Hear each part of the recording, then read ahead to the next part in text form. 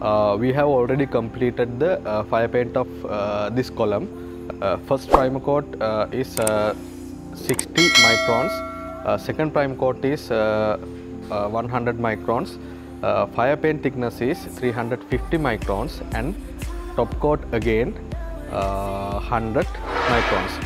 Total thickness of the fire paint now should be 610 that means uh, 60 plus 100 plus 350 plus uh, 100 uh, let's see uh, i'm going to uh, find thickness of the fire paint using this coating thickness gauge and you can use Elcometer okay let's see. Here uh, 610 thickness is not coming here because uh, one uh, galvanized paint is there. Uh, then the thickness should be greater than uh, 610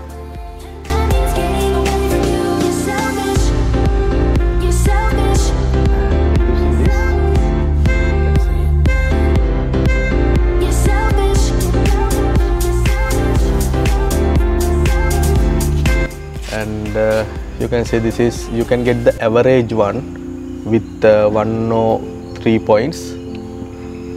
3 Uh, this is 932 that means uh, the galvanized thickness is there. That's why.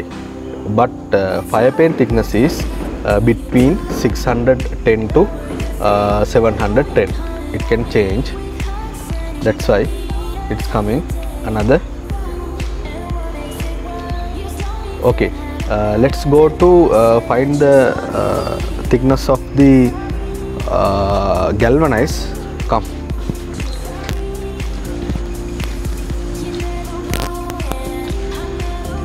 And uh, this is box bar. You can see uh, no fire paint here. We can check the thickness of the galvanize. Okay 123 galvanized uh, coat is here. This is box bar normal box bar. You can see 183 the average is 150 to 200 and you can see. Okay you can see. Uh, I think now you have idea about the uh, fire paint application and the uh, how to check the thickness if you want. And uh, you have to use just uh, your Elcometer or uh, coating thickness gauge. And thank you very much. Uh, let's meet in next video